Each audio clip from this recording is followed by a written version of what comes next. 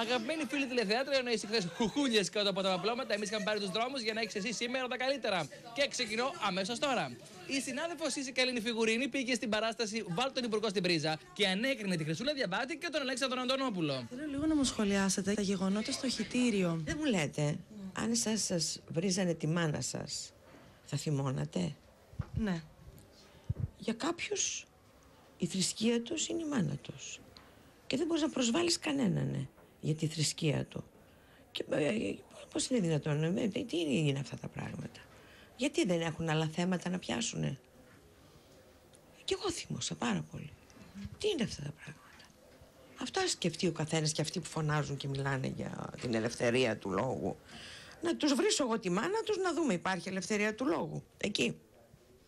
Μπορώ; Και επίσημα σε ένα θέατρο. Ναι, ναι και έτσι κι όλα δημόσια. Εδώ έτσι να του τη βρίσω θα με κυνηγήσει. Μπορεί να με σκοτώσει κιόλα. Λοιπόν πώς μπορεί να βγαίνεις και να, να βρίζεις έτσι; Η τέχνη όμως λογοκρίνεται. Τι θα πει αυτό; Ποια τέχνη; Είναι τέχνη αυτό; Δεν ξέρω κιόλα αν είναι τέχνη. Όλα τα είπαμε τέχνη. Έχει ποτέ κάποια θαυμάστρια κάνει κάτι πολύ ακραίο; Ήταν μία που με παρακολουθούσε συνέχεια.